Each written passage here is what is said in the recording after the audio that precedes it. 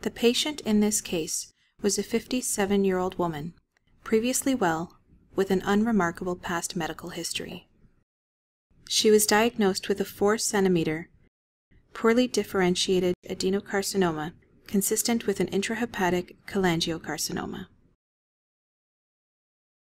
During the period of investigation, the tumor grew to compress the middle hepatic vein from above and pressed against the left and right hepatic veins. In order to spare as much liver as possible, and because the left lobe was relatively small,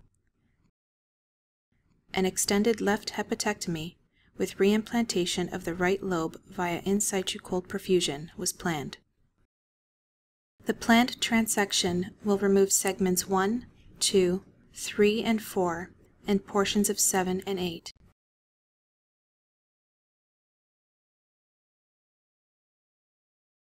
Upon reaching the right hepatic vein during transection, a cannula will be inserted into the remaining stump of the left portal vein. The right hepatic artery and common bile duct will be controlled with a Rummel clamp. The main portal vein will be clamped, as will the infrahepatic vena cava. The confluence of the middle left hepatic vein will be divided at the cava.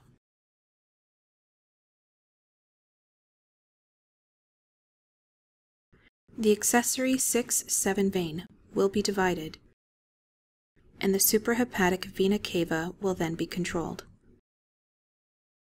With total vascular exclusion of the liver achieved, the right hepatic vein will be stapled at the cava and divided proximally.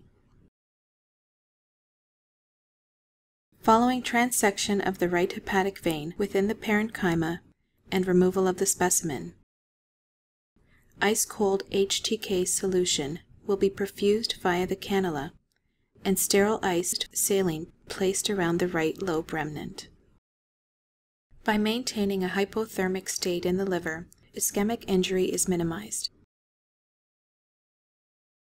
The accessory 6-7 vein and right hepatic vein will require reconstruction to reestablish hepatic outflow.